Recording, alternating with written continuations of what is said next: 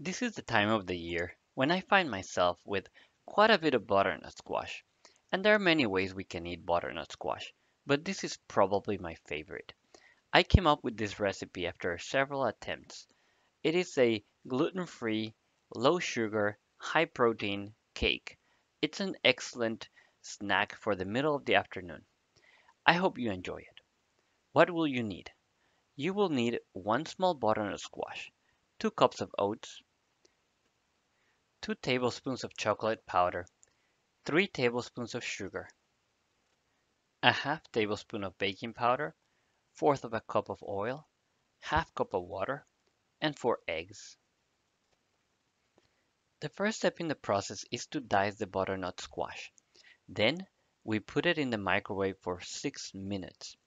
While we're doing this, we measure all the solids and put them in the food processor.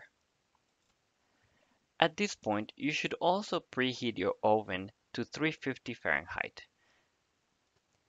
Here I am adding a tablespoon of cinnamon that I forgot to list in the list of ingredients, so take note of that. Now we grind everything in the food processor to a consistency of a flour. Everything should be homogeneous and well mixed.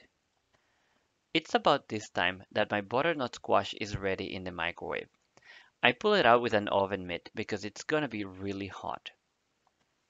Now we incorporate the oil, the water, the eggs, the butternut squash, and we mix it in the food processor. While this is happening, we oil a pan to prepare it for the oven.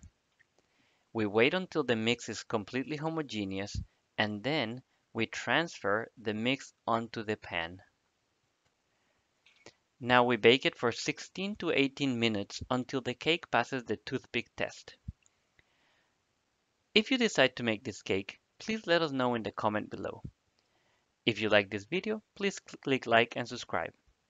Until the next time, this is Jose.